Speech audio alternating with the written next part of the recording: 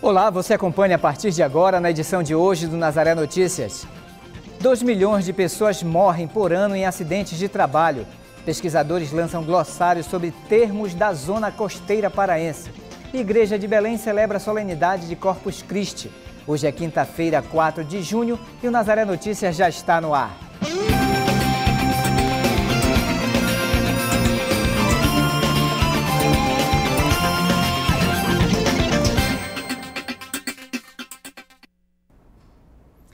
Começamos o Nazaré Notícias de hoje falando sobre segurança no trabalho. Segundo a Organização Internacional do Trabalho, 2 milhões de pessoas morrem por ano devido a enfermidades relacionadas ao exercício da profissão. Por isso, medidas para garantir a segurança podem evitar fatalidades. A cada ano, a construção civil realiza inúmeras obras pelo Estado. E para que todo o trabalho seja feito com segurança, há um rígido controle das empresas de engenharia para que todos os equipamentos individuais e coletivos estejam de acordo com as normas e que realmente sejam usados. Hoje a segurança, né, a melhor forma de trabalhar com segurança, simplesmente é a, a gestão hoje que é feita pelas empresas, né, que passa desde os treinamentos, é, o uso adequado do, dos equipamentos de proteção individual e proteção coletiva, né? Ou seja, são a base para a segurança, mas a gestão é a principal delas. Segundo este técnico em segurança, há várias profissões de riscos, principalmente as que envolvem altura. Mas o cuidado e a atenção parte da empresa e do próprio trabalhador. O profissional que hoje trabalha na indústria da construção, né, vamos dizer assim, o, os operários, né, ele tem é, os equipamentos como uma forma de proteção e o uso dele de forma adequada, sem dúvida nenhuma, é o que mais vem é, se tornando um, uma forma eficaz de, de trabalho com segurança. Né? Vamos voltar ao trabalho em altura, por exemplo. O cinto de segurança, né? um bom sistema né, de ancoragem, né, onde o trabalhador ele se encontra, é, vamos dizer assim, fixo né, no trabalho em altura, é o cinto, o paraquedista, o capacete, o óculos de proteção, sempre são uma proteção né, adicional ao trabalhador. A região norte apresentou um número com 31.275 acidentes de trabalho, tendo Pará líder desse ranking com 12.149 acidentes. Mesmo sendo altos, esses números foram reduzidos em relação a 2012, quando foram registrados 12.530 casos de acidentes. Para aqueles que trabalham em condições de risco, o medo é superado com experiência. A gente vem de um período muito longo, então isso nos, nos dá uma certa segurança e, e, a gente vai adquirindo responsabilidade no decorrer do tempo, né? Dentro do nosso trabalho, então isso a gente depende muito do nossos equipamentos, do EPI, né? Em estar em bom estado, em boas condições e o próprio, o próprio funcionário, ele ajuda para isso, que isso venha acontecer porque depende muito da boa qualidade desse equipamento. É uma convivência do dia a dia, né? não só no canteiro de obra, como se você vai sair na rua, né? existe esse risco. Mas dentro do canteiro de obra não é bom nem pensar nisso. Né? A gente tem que prevenir para que não aconteça nada e se concentrar no, no trabalho, né? que vai dar tudo certo. É uma questão de concentração só. Ficar atento aos equipamentos de segurança garante a melhor qualidade de vida para os trabalhadores. A gente agradece muito né, aos técnicos de segurança, o pessoal que, que forma a segurança, que eles informam a gente direitinho né, como usar e fico insistindo todo dia. Né? Principalmente para a família do trabalhador, né? ou seja, aquele trabalhador que vem hoje né, para um canteiro de obra, para uma indústria, é voltar do mesmo jeito que ele chegou aqui na obra. Né? Então isso é uma importância imensurável para a família. Né? O nosso tempo é marcado pela velocidade da comunicação, pela comodidade oferecida pela utilização da tecnologia e pela vontade de estar sempre conectado. Com o aumento do uso das novas tecnologias, mídias sociais e redes de comunicação, os cuidados redobram para não permitir que crimes aconteçam. Nesta reportagem, você vai saber quais as principais modalidades desse crime e como preveni-los. Com o celular nas mãos, a informação chega em tempo real. A foto que você acabou de tirar, o local onde está e o que está fazendo. Através das mídias sociais, cada vez mais expomos nossa vida na internet. O que você faria se alguém te parasse na rua e perguntasse onde você mora, quem são seus amigos, quais os seus locais preferidos, onde você trabalha e mesmo quanto ganha? Provavelmente você iria achar estranho e até ficar com medo, mas pode não perceber que essas informações podem estar dentro da sua rede social. Manter privacidade na internet é difícil, mas deve ser uma preocupação, alerta esta especialista. A superexposição é um risco. Os riscos são diversos, né? E esses riscos eles não se resumem, não se limitam ao ambiente virtual. Muitas pessoas estão utilizando essas informações que a gente posta espontaneamente fora da, da internet. Isso não é tão atual assim, mas é, a própria lei ainda está indo atrás, né, se aperfeiçoando para dar conta desses dois ambientes, do virtual né, e do que é, é gerado no virtual para fora dele. A informação online não tem barreira geográfica e pode ser acessada por milhões de pessoas. Por isso, cuidado com o que você divulga. Então, é muito maior os benefícios do que os malefícios. Mas você facilita o crime quando, por exemplo, você, por curiosidade, abre um spam no seu próprio e-mail. Né? Acesse essas fotos, é, seu nome está no Serasa, é, coisas do tipo para atiçar curiosidade, ou mesmo sobre a vida de pessoas famosas, você abre esse spam. Então, descarta, spam é spam, não abre isso. Né? Você vai, é, é tem bancos, uma série de instituições que não mandam essas correspondências. Então, é melhor consultar por outros meios esse, essa instituição do que você já abrir um spam. Outra dica importante é mudar as senhas periodicamente, principalmente de e-mails e redes sociais. Não é necessário ficar paranoico com a confidencialidade de suas informações na internet, mas todo cuidado é pouco com a sua segurança.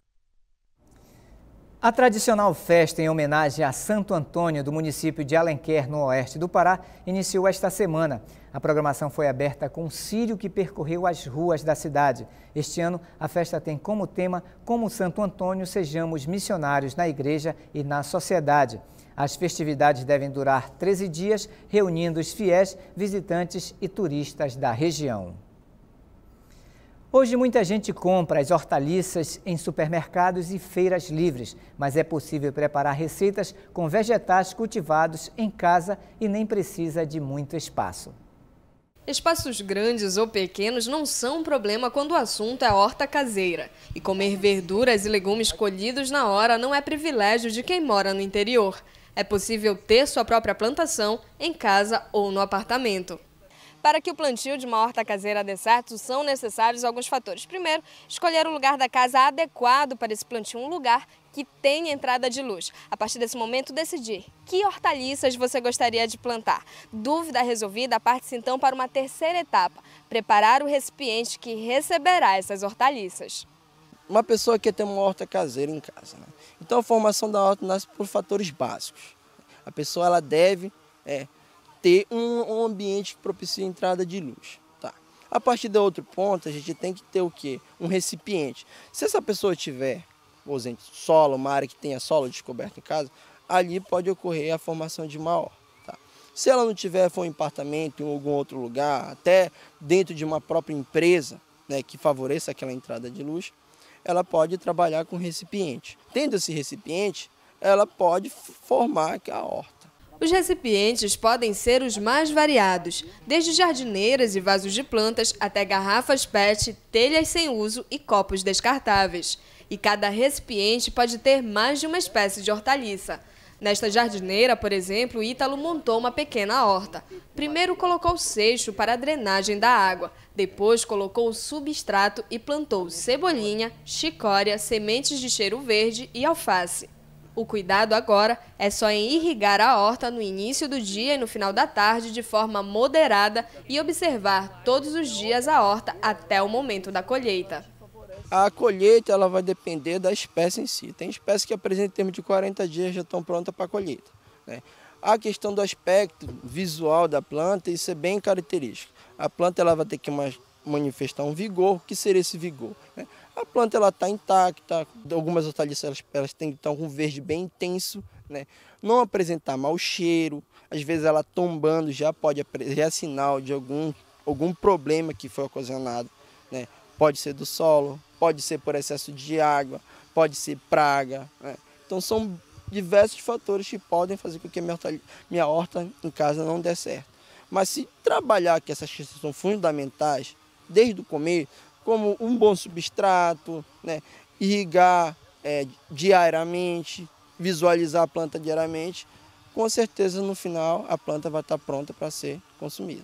Na horta caseira é possível plantar jambu, rúcula, caruru, salsa, cheiro verde, espinafre, manjericão, pepino, pimentinha, chicória, diversas espécies de hortaliças, para garantir uma boa salada ou um tempero à comida. A importância da horta ela nasce pela necessidade sim, né? da questão da saúde da pessoa. As hortaliças elas são os componentes principais em termos né, da própria nutrição da pessoa né, e promover aquela famosa resistência na saúde da pessoa. Né. Em termos disso também, né, a questão da culinária. As hortaliças elas promovem um sabor diferente à comida. Então, uma pessoa torna a comida mais gostosa, mais saborosa, até o ponto de apresentar uma, dar uma característica diferente naquela, naquela comida. Né. Mas as hortas caseiras não melhoram apenas a alimentação, são também uma terapia contra o estresse diário. Ter uma horta em sua casa é, é, vai muito além de a questão de consumir, do consumo, da questão de saúde. É a questão também da pessoa ter uma atividade, se focar. Às vezes a pessoa pode estar estressada do dia a dia, né, cansada. Fazer aquele exercício ajuda muito a própria pessoa. E agora vamos falar de saúde. Cuidar das unhas é sinal de preocupação com a estética, mas ter cuidado também com a higienização adequada dos materiais utilizados é essencial antes de iniciar esse tipo de procedimento em salões de beleza. As unhas são compostas por queratina, uma proteína que propicia a alimentação de fungos que causam desconforto e são um dos principais problemas presentes nas pontas dos dedos de muitas pessoas. O problema mais frequente são basicamente dois, né? Um é a parte de fungo na unha, que isso aí é bastante comum, e o outro unhas encravadas, né? Que é o que a gente tem mais. As micoses nas unhas são cada vez mais frequentes, principalmente hoje, quando as pessoas passam quase o dia inteiro de sapatos fechados. Mas os fungos não surgem nas unhas por acaso, eles precisam ser colocados ali. Em relação aos fungos, é... o fungo é inoculado de alguma maneira, né? Então, quando você usa uma tesoura contaminada, material de manicure contaminado, com fungos que uma pessoa anteriormente a você usou aquele material. Quando você vai a algum lugar, né, manicure, que uh, a esterilização do material não é feita do modo adequado, aí pode haver realmente a inoculação do fungo na unha. Além das micoses, outro problema comum são as unhas encravadas, que causam muitas dores. Em relação ao canto de unha, é um pouco mais complexo. Normalmente as pessoas também em casa né, uh, mexem com tesoura, com material inadequado, esse material às vezes está contaminado, aí pode ser por bactéria também, inocula ali, o organismo começa a reagir, reage tanto em relação às bactérias quanto em relação à própria a tesoura que, é, que encosta no tecido ali naquele local. Né? Então essa reação forma tecido novo, com vascularização nova, aquilo ali fica sangrando, infecciona e aí se forma a unha encravada. Né? Para você sair disso, às vezes é complicado, então tem que usar medicamentos e posteriormente, em alguns casos, se vai para a cirurgia. Os problemas surgem principalmente pela falta de cuidado das pessoas, a utilização de materiais compartilhados e a falta de informação. O tratamento é demorado, mas existe. No caso dos fungos, é, o tratamento é de longo prazo, né, porque o fungo se alimenta de queratina e a unha, mais de 95% da unha é queratina, então ele está no lugar adequado. Né. É um tratamento de longo prazo e que requer realmente que a pessoa venha e, e, e faça um acompanhamento adequado. Né. Às vezes você pode fazer medicamentos tópicos, e medicamento tópico para fungo na unha tem que ser esmalte, porque ele penetra bem, né? Quer dizer, não adianta você usar loção, creme, porque não vai entrar na unha e não vai resolver o problema. Então, esmaltes para o tratamento tópico. E você pode fazer tratamento sistêmico, né? Então, tem medicamentos para serem usados por via oral, né? Que uh, também são bastante eficazes em relação a essa patologia, mas todos eles são tratamentos de longo prazo.